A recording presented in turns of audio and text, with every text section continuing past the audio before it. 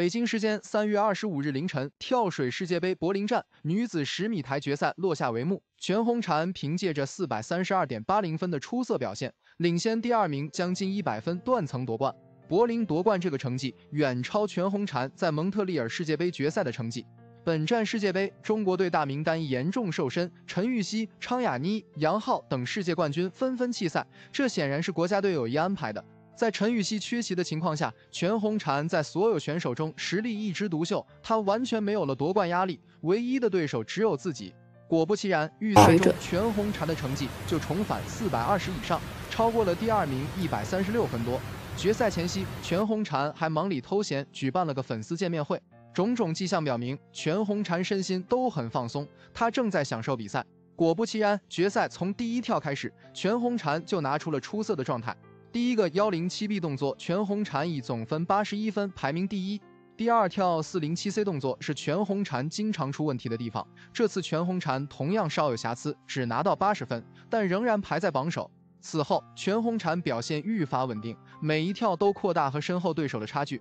其中，全红婵第四跳二零七 C 更是上演了教科书般的水花消失术，豪取九十九分的满分。最终，全红婵一路领先，断层夺冠。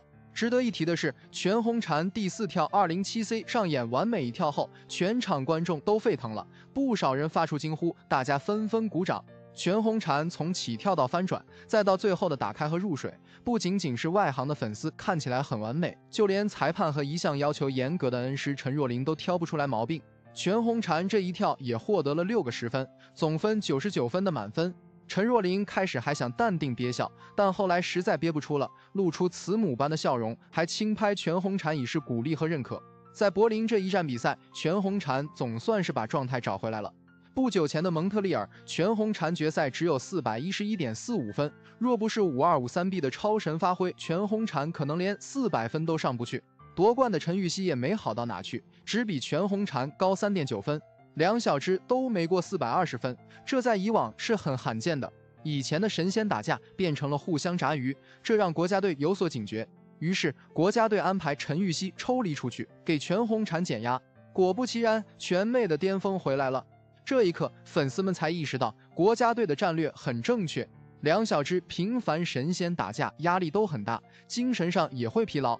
距离巴黎奥运会不到四个月，全红婵和陈芋汐并非每站世界杯都要参加，偶尔把他俩分开，反而容易激发出状态。相信不久后的巴黎奥运会，两小只会带给我们更精彩的表现。